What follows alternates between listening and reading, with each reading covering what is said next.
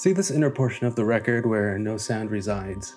It's called the runout groove, or it's also referred to as dead wax. And like the rings of a tree, it can tell you a lot about your record. Sketched into the dead wax is something called the matrix number. This combination of letters and numbers is either stamped or handwritten in the lacquer and used to identify the stamper. The number may look something like this.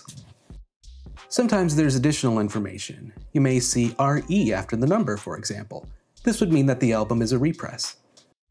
Sometimes symbols are used to indicate information like where the record was pressed or who the engineer was.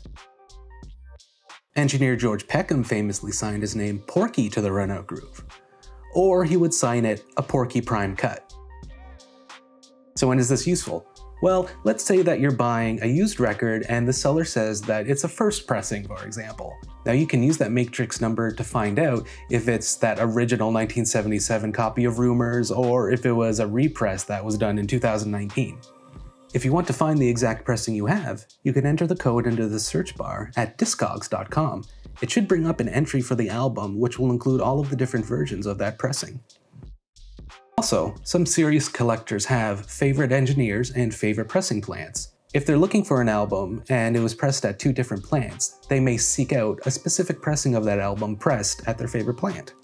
Some bands choose to include a message in the runout groove, like Led Zeppelin, who on their immigrant song 7 Inch include the inscription, Do what thou wilt shall be the whole of the law. Weird Al is also known to include comments on the dead wax area, such as more songs about television and food, and an accordion is a terrible thing to waste. These messages, to me, they're just part of the fun of collecting vinyl. Do you have a record that has a particularly notable or funny message in the runout groove? Leave a comment down below and let me know. I'd love to check it out.